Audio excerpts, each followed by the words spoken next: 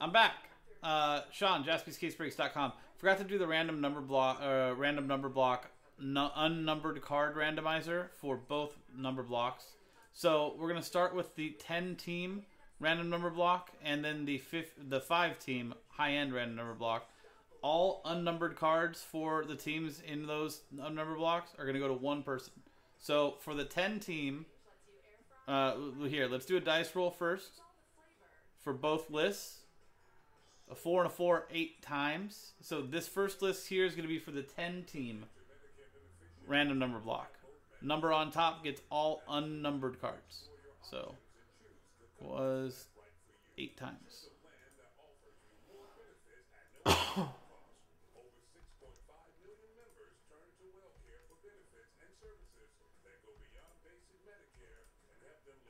Eighth and final time, spot zero, which is Deborah Close. You will get all unnumbered cards for the teams in that 10 team random number block. And then eight times on the dice on the new one.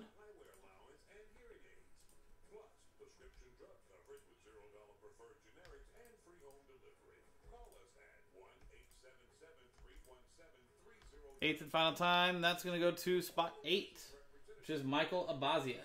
You'll get all unnumbered cards for that five team high end random number block. There you go, guys. That was the uh, random number block unnumbered card randomizer for uh, all both random number blocks. Topps Museum Collection Baseball Case Break. Pick your team number three. I'm Sean, jaspyscasebreaks.com.